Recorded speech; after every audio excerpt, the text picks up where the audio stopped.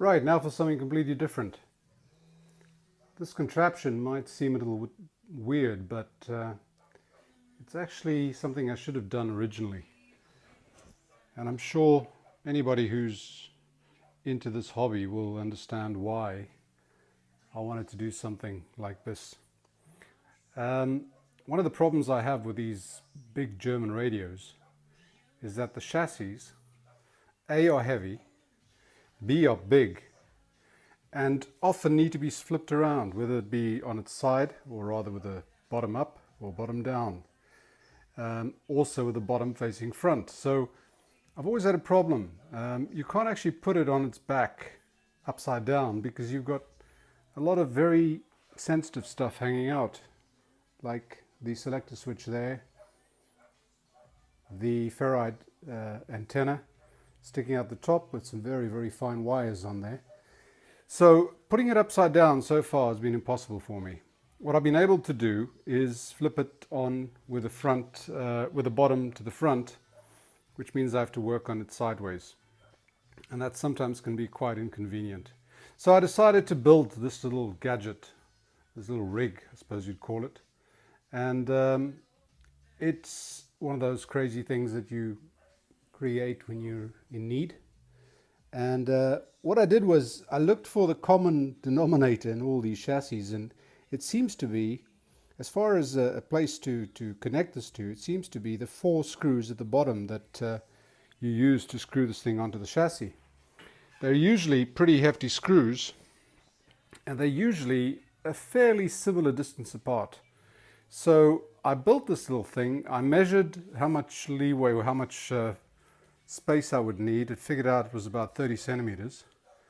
As you can see, I actually figured it wrong. I should have given it another few centimeters, and that'll be version 2, I suppose. Um, and put this thing together, literally with, you know, 10 bucks and uh, an hour's work. Um, the wood is screwed on and glued on at the at the edges and then I used one of these little metal L um, shaped things that uh, help to give it a little bit more sturdiness and that's on all four sides so these two sections are completely separate screwed onto the bottom and they work like a charm so I can literally flip this easily There we go. One hand. Uh, I won't risk flipping it on its back with one hand, but uh, you get the idea. Uh, just to ensure that this thing uh, slides smoothly on the workbench, I put in these little felt pads. The bottom one has a double layer to make up for the height of the screws that you see there. These are the actual screws that came with the radio to connect it to the bottom. And there we go. It works like a charm. So, uh, I think the next version will probably be a single strip of uh, four, four, um, four millimeter thick aluminium. I'll get them to bend it in the corners, make it slightly rounded so that it actually rolls over a lot easier. And it'll be thinner, it'll be less clumsy um, I'll put an extra thickness at the bottom to make up for the space required for these screws. And overall, I think it's a pretty nifty piece of gear. There we go. It's now in a position where you can very easily get to all the components on the underside. No damage is done to the top side components. They've uh, got a fair amount of free room here. Um, and it seems to be the right size for this type of radio. I, I generally work on German radios, uh, Sabas and Telefunkens and now this Graetz. So they seem to be pretty standard in terms of uh, their configuration. At least so far, I don't recall any one where I won't be able to use this bottom screw setup.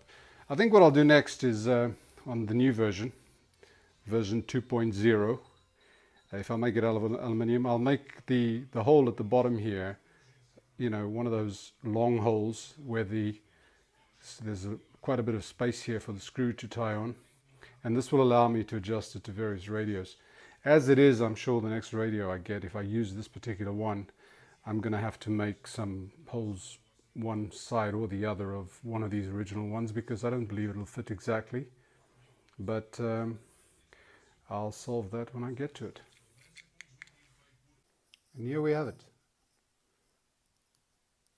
Basically, you can get an idea of what's been done here. These strips are, the total end to end is 30 centimeters.